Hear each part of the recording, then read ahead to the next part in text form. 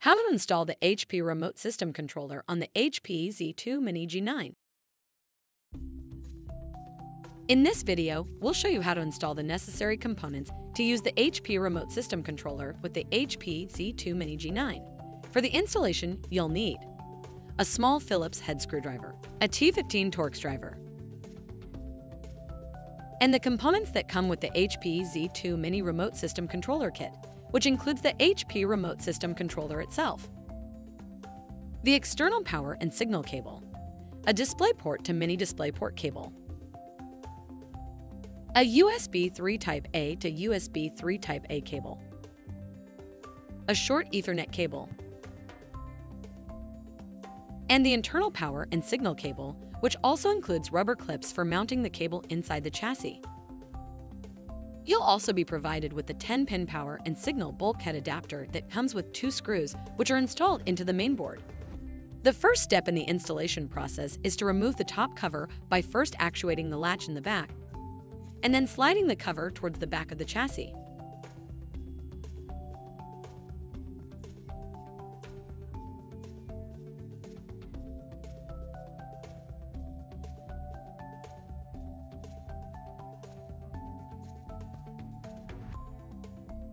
Next, use the small Phillips head screwdriver to remove the single screw that secures the PCI Express cage.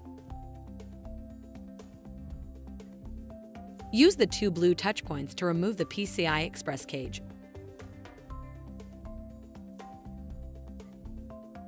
Next, use a small Phillips head screwdriver to remove the two screws that secure the blower fan. Carefully remove the blower from the system and disconnect its power cable from the main board.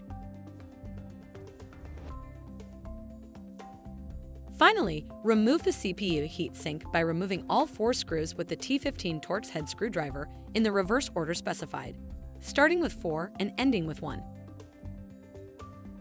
The next step in the installation is to install the bulkhead adapter in the flex port. Start by removing the blank by pushing it inward.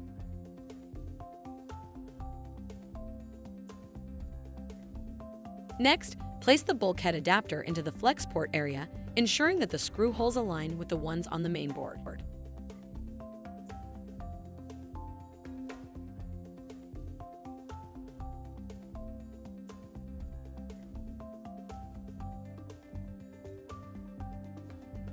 Use the small Phillips head screwdriver to install the provided screws. Next, we'll install the internal power and signal cable. First, Plug the side of the cable labeled RSC into the 10-pin connector on the back of the bulkhead adapter and ensure it's seated. Then install the other end of the cable into the connector labeled P, B, E, P, W, R on the mainboard.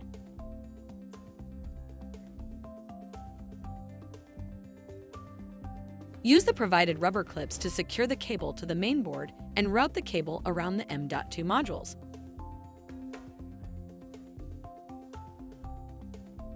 With the bulkhead adapter installed, it's time to reinstall the components removed in the opposite order that they were removed, starting with the CPU heatsink. It may be necessary to use thermal grease here. Align the heatsink with the screw holes and tighten the screws with the T15 Torx head driver in the order specified on the label.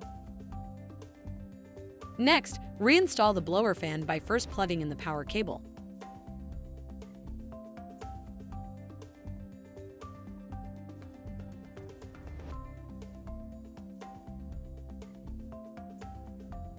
And then securing its two screws with the small Phillips head driver.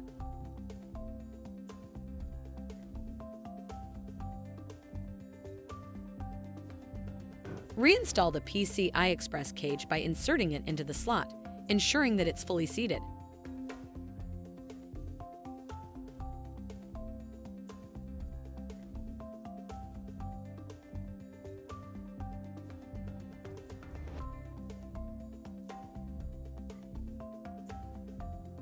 Then tighten the hold-down screw with the small Phillips head driver. Reinstall the cover by sliding it towards the front of the chassis while applying downward force. It will click once it's in place. Now it's time to connect the HP Remote System Controller to the HP Z2 Mini G9. First install the external power and signal cable. Plug one end into the bulkhead adapter and the other into the 10-pin connector on the left side of the HP remote system controller. Next, install the DisplayPort to Mini DisplayPort cable. Plug the DisplayPort end into the primary graphics output on the workstation and the Mini DisplayPort end into the remote system controller. Next, install the USB 3 to USB 3 Type-A cable, plugging one end into an available USB port on the workstation and the other end into the remote system controller. If it's desired to pass through the Ethernet connection from the remote system controller to the workstation, then install the short Ethernet cable from the left side of the remote system controller to an Ethernet port on the workstation. Finally, connect an Ethernet cable to the right side of the remote system controller.